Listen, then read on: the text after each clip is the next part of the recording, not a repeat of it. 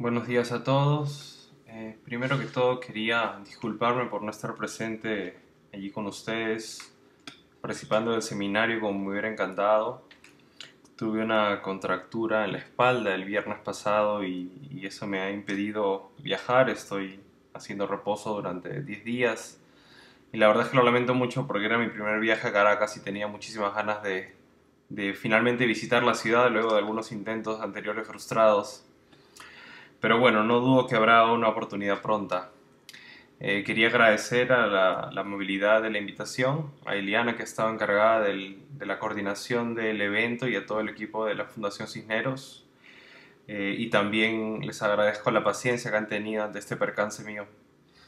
Eh, yo, yo, quería compartirles un, un, caso o una serie de casos de intervención feminista de los años 90 que me parece que calzan muy bien con, con el tema del panel en el cual estoy participando. El título de esta intervención es Perra habla y otros experimentos feministas, arte de mujeres y activismo durante la dictadura de Fujimori. Voy a compartir algunas imágenes y algunas reflexiones eh, generales sobre, sobre los 90. Los 90 dieron lugar a diversas formas de politización. Aquella década se inició como un repliegue de la comunidad cultural y artística en Lima, producto de la intensificación de la guerra declarada por el grupo subversivo maoísta Sendero Luminoso contra el Estado peruano, iniciada en 1980.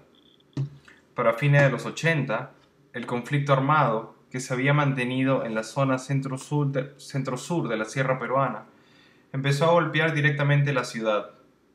La violencia, la crisis económica e hiperinflación propiciada por el gobierno de Alan García en 1987 generaron un descrédito profundo frente a los partidos tradicionales, lo cual catapultó a la, presidencia al ingeniero Alberto Fujimori en 1990, cuyo eslogan de campaña era honradez, tecnología y trabajo.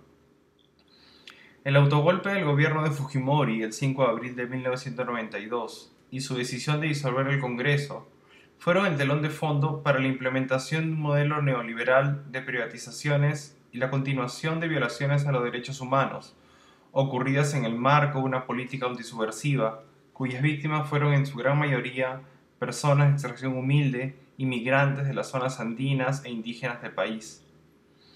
Aun cuando habían ya numerosos indicios de crímenes y corrupción ocurridos durante su primer gobierno, Fujimori fue reelegido en 1995. Es en aquel contexto que la obra de muchos artistas experimenta importantes transformaciones, desplazándose de la pintura hacia un uso híbrido de medios y tecnologías disponibles, movilizando el cuerpo como espacio de desobediencia ante el autoritarismo instalado. El inicio de los 90 en el arte peruano vio el surgimiento de autorretratos y representaciones melancólicas, que funcionaron como un refugio emocional ante el terror y la muerte. Sin embargo, la autorreferencia fue para varias artistas mujeres una forma de desacato ante la autoridad patriarcal.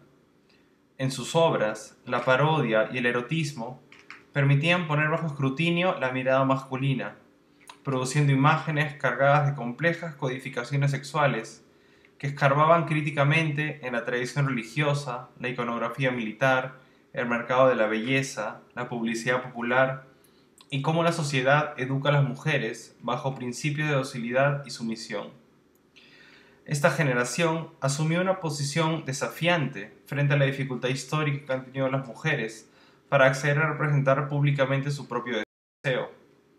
La exposición Blancas Maravillas, Blancas Maravillas de, de, en 1996 de Patsy Gucci presentaba una sexualidad afirmativa, haciendo un comentario sobre los métodos anticonceptivos y la maternidad, combinándolo con representaciones de sexo anglicos, como el díptico en el Parque TBC, TBC en el Parque, de 1996.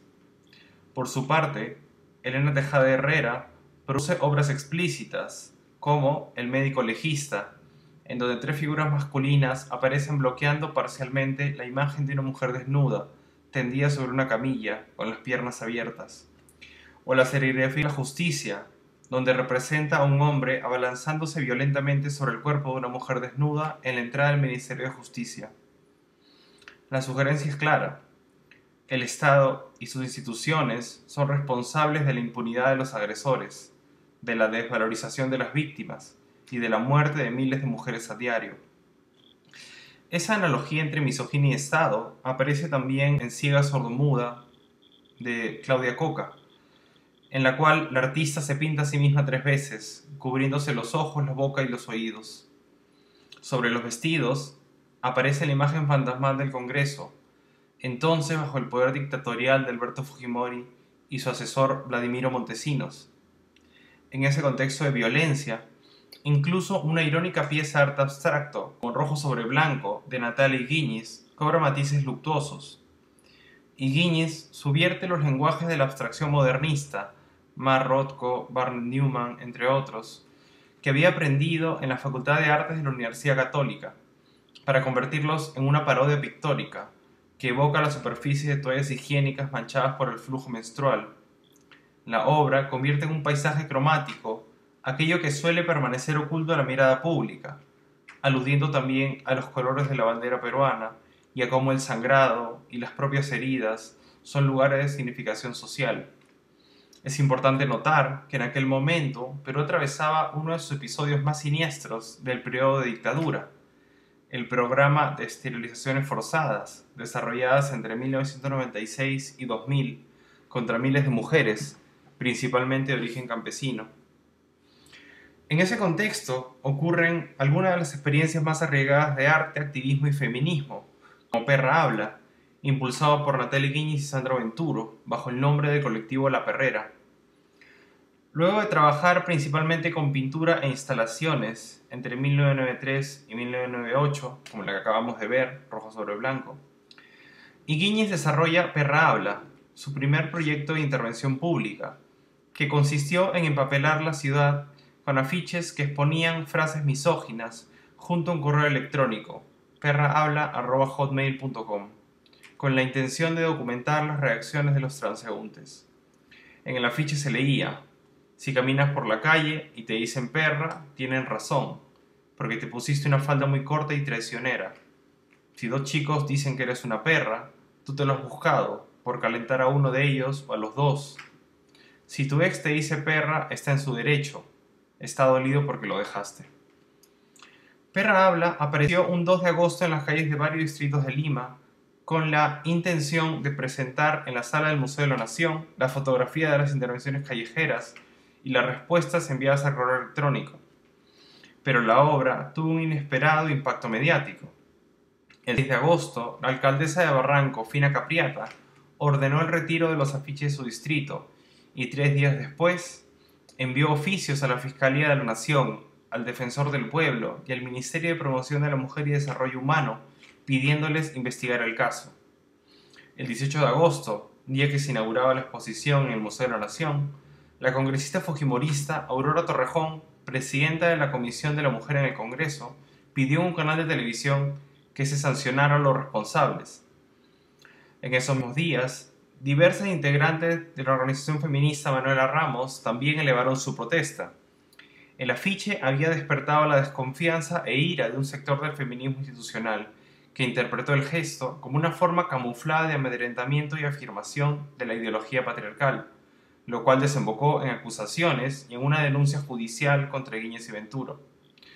Si bien luego de esa experiencia Guiñez colaboró con organizaciones feministas formales, la disconformidad en aquel momento de las instituciones feministas hacia Perra Habla señala un desencuentro entre el campo artístico y la militancia feminista. Ambas esferas usaban estrategias distintas al hablar públicamente de la violencia sexual, por un lado, sentencias directas a modo de denuncia por parte del feminismo institucional, alto a la violencia contra las mujeres, por ejemplo. Y por otro, la ambivalencia, extrañamiento y provocación de frases misóginas descontextualizadas y colocadas en un afiche como un experimento de arte público, como se vio en Perra Habla. El uso de los medios de comunicación y medios tecnológicos fue también una respuesta al protagonismo que el video tuvo en los esquemas de corrupción y manipulación implementada por la dictadura. El crítico Rodrigo Quijano llama acertadamente aquella situación de vigilancia que atravesaba el Perú en esos años como la condición mediática de la vida ciudadana, es decir, tanto la expansión de la propaganda corporativa como el simulacro del funcionamiento del Estado democrático en el país. Pero aquella condición mediática tuvo un trasfondo habitualmente invisible, la manera en que este imaginario visual reafirmaba lógicas feminicidas que perpetuaban el control de una esfera pública masculina heterosexual, un escenario de violencia sexista constituido a través de la espectacularización de cuerpos femeninos semidesnudos, magnificados en las portadas de los diarios sensacionalistas, en simultáneo a la difusión pública de actos de coerción contra las mujeres ejercidos con impunidad de las altas esferas del poder, como las torturas contra la entonces esposa del presidente Fujimori, Susana Iguchi. Así, las formas, que el video fue usado, las formas en que el video fue usado por artistas mujeres tiene características específicas. Elena Tejada Herrera transita por una senda independiente al de los impulsos como el del Festival de Videoarte Electrónica creado en Lima en 1998 para construir una comunidad de debate sobre la especificidad del video. Así, a diferencia de este proceso local de institucionalización del videoarte, la artista Tejada Herrera emplea el aparato fílmico como una técnica de representación más próxima a la videoguerrilla, desarrollada por colectivos de los años 70 en su obra, el video aparece como herramienta performativa o extensión intelectual o sexualizada de su propio cuerpo. Este uso orgánico de medio audiovisual le permitió incorporar sistemas de grabación en vivo o circuitos cerrados y privilegiar un registro con cámara en mano, que capturaba los sobresaltos e inestabilidades del propio cuerpo.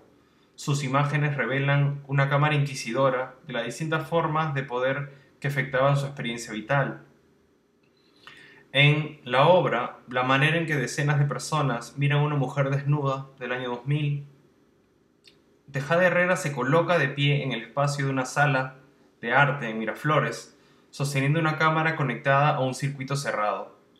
Durante la acción, su cuerpo se convierte en una especie de tecno ojo que filma a una audiencia que la observa y cuya imagen es simultáneamente proyectada y amplificada tanto en una, en una pantalla que estaba dentro de las salas, como en una pantalla que estaba también en las afueras de la galería, que daba hacia una de las calles más transitadas del distrito de Miraflores, en Lima. El video y la cámara aparecen aquí como tecnologías de contrainformación, como una especie de despliegue activista de los medios tecnológicos que emula los lenguajes de los más media para poner en evidencia sus lógicas patriarcales e interrogar el modelo de esfera pública. Tejada Herrera significa, por un lado, el control y la vigilancia cotidiana sobre el cuerpo de la mujer, y por otro, la manera en que el video y otras tecnologías visuales intervienen en los procesos que modelan el comportamiento, las relaciones sociales y la formación de identidades.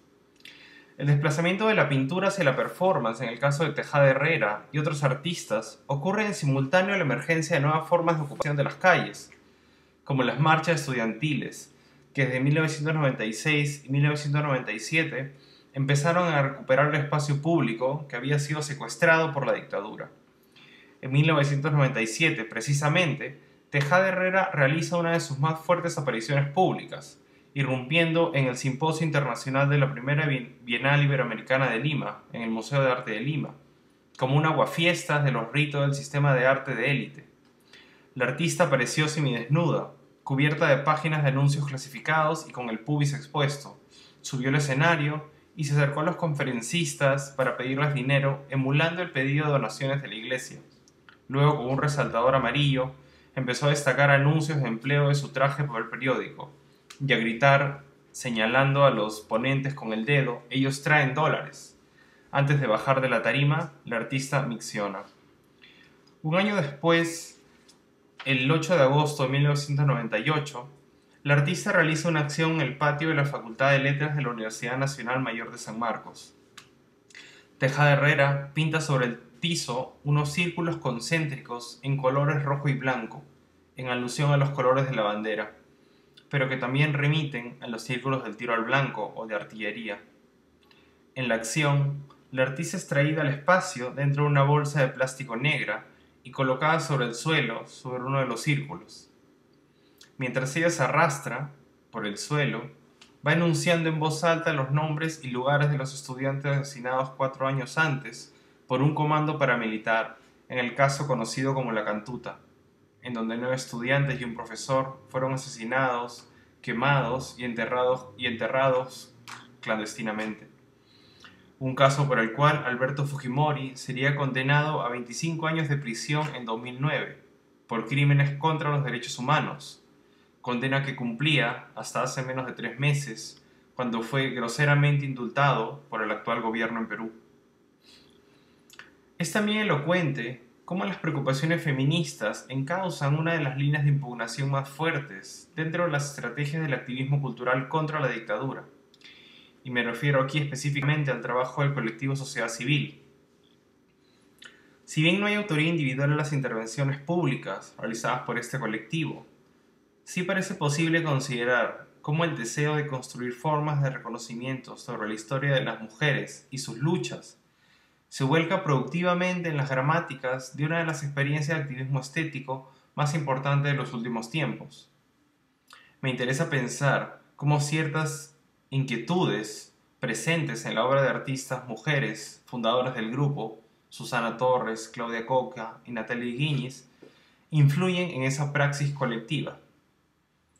Las primeras acciones del colectivo Sociedad Civil ocurren después de la primera vuelta electoral, 9 de abril del 2000, en, la cual Fujimori se intentaba reelegir fraudulentamente por segunda vez.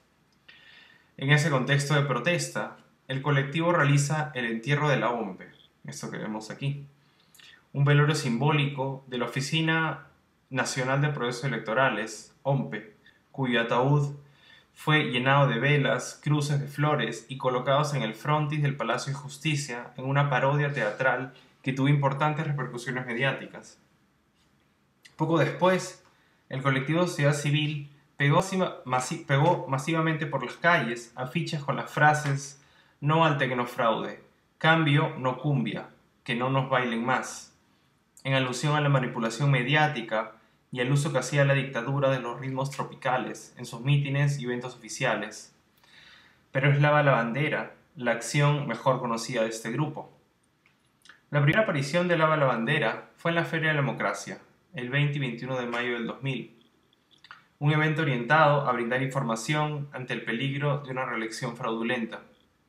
En un extremo lateral de esta feria, un conjunto de personas lavaban banderas peruanas para luego desplegarlas en largos tendales. Y aquí en la foto se puede ver a tres integrantes fundadores del, del colectivo Sociedad Civil, Gustavo Buntings, Susana Torres y Natalia Guiñez. Tres días después, la acción es replicada en la Plaza Mayor de Lima. De hecho, lo hacen frente al Palacio de Gobierno, que aquí se puede ver ese fondo que está atrás de estas mujeres, es precisamente el frontis del Palacio de Gobierno mismo. Detonando entonces una protesta incapaz de ser controlada por las autoridades. En cada nueva convocatoria, cientos de ciudadanos, transportando sus propias banderas, bateas y jabón, convirtieron los espacios públicos del país e incluso embajadas en el exterior, en gigantescos tendales callejeros que clamaban por una limpieza simbólica, el retorno de la democracia. Revisar esta experiencia de los ojos del feminismo implica leer entre líneas algo que escapa a la explícita urgencia de las luchas contra la dictadura y que posa su atención en cómo la esfera pública y el modelo de democracia vigente son espacios aún bajo el control de los hombres. En 1995, Susana Torres, cofundadora del colectivo Sociedad Civil cinco años después, había subrayado ya la relación entre la invisibilidad del trabajo doméstico y el ejercicio de la autoridad patriarcal. Su exposición La bandera, presentada en la Galería Parafernalia, reutilizaba y reinterpretaba el icono patrio desde la perspectiva de una ama de casa y la faena de la lavandería hogareña. Torres resaltaba el heroísmo oculto en las labores habitualmente despreciadas del trabajo de reproducción, cuidado y mantenimiento doméstico, esa demanda de tiempo y energía no remunerada, que sostiene toda una larga cadena de explotación económica y social. Su exposición presentaba banderas intervenidas con escenas costumbristas de mujeres lavando y planchando la bandera nacional, las cuales eran colgadas como ropa tendida en los extremos de la galería Torres incluyó también una cama de metal con una colcha bandera reversible y el rostro de una mujer impreso sobre el colchón blanco, alegorizando las condiciones de explotación de las trabajadoras domésticas. La cama evocaba la forma de un ataúd, cuyas resonancias se amplificaban en un país en dictadura. La obra de Torres llamaba la atención sobre algo decisivo. Para entender críticamente el modelo de democracia, es necesario reconsiderar las relaciones entre el espacio público y el espacio privado, lo cual implica también señalar cómo la economía del trabajo doméstico sostiene el funcionamiento de la sociedad y de sus instituciones. El mantenimiento invisible del trabajo doméstico y la organización social de los cuidados ha sido, ha sido y sigue siendo instrumental para la estructura patriarcal y para las dinámicas acumulativas del capitalismo. Si no hay reproducción, no hay producción, nos recuerda la feminista italiana Silvia Federici. Que cualquier persona lave la bandera en la plaza como un acto de protesta no es entonces solo una señal de cómo una herramienta estética es capaz de fundirse en el anonimato del cuerpo social, similar al siluetazo impulsado por las madres de Plaza de Mayo en Argentina o al No Más en Chile, sino que sugiere dos dimensiones políticas igual o más relevantes aún. Por un lado, que la lavandería doméstica no depende ni está asignada a un género específico, y por otro, que esa labor de mantenimiento doméstico es un componente que construye subjetividad. Que una acción históricamente feminizada, como la lavandería, ponga a todos a meter las manos en las bateas con jabones y detergentes, debe ser aquí entendido como una reconceptualización radical de la función de la actividad artística, como un espacio para transformar ciertas prácticas de la vida cotidiana y como un señalamiento claro de las estructuras de dependencia habitualmente invisibilizadas entre el trabajo doméstico y la esfera pública. Muchas gracias.